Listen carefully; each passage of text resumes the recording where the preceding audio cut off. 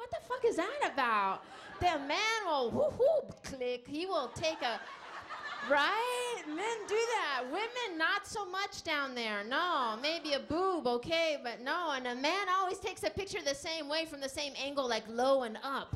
You know? Right? Right? In front of something tall, like a fucking doorway or something, you know? Like when you get it, you're gonna be like, oh, fuck, he's as big as a door jamb! I'm gonna give you some of that!